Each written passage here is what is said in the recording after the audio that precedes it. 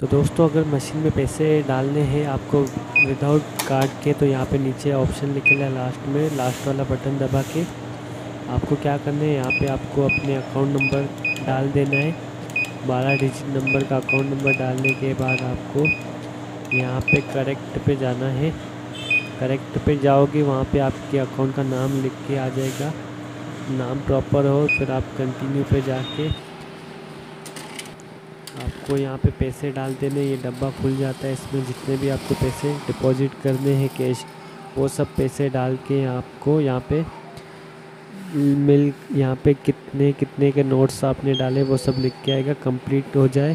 तो फ़र्स्ट वाला ऑप्शन चुने, अगर फिर से ज़्यादा ऐड करने हैं तो फिर सेकेंड वाला ऑप्शन चुन के आप फिर से ऐड कर सकते हो। तो यहाँ पे आपको प्रोसेस हो गया सक्सेसफुल हो गया, ये रिसिप्ट भी मिल गई, कितने आपने पेमेंट डिपॉजिट किया है।